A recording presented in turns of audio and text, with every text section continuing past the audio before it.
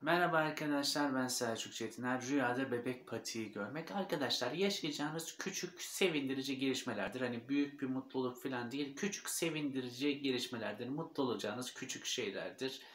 Ya da yaptığınız küçük birikimlerden hayır göreceğinizdir.